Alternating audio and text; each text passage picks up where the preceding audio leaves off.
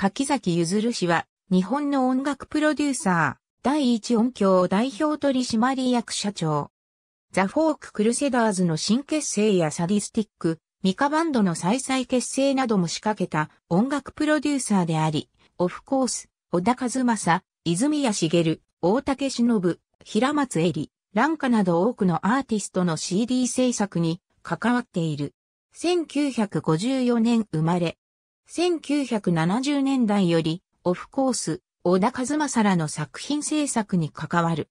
2008年3月、加藤和彦が、名優小原玲や土山さみ、屋敷豪太に呼びかけて結成された、新たなロックバンド、バイタミン Q を手掛ける。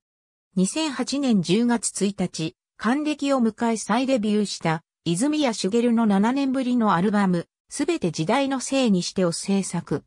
2009年2月18日、プロデュースした加藤和彦と坂崎幸之助のユニット、和幸のセカンドアルバム、ヒッピーエンドがリリースされた。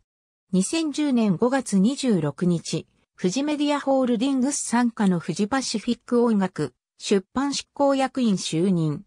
2015年6月1日、富士パシフィックミュージック取締役に就任。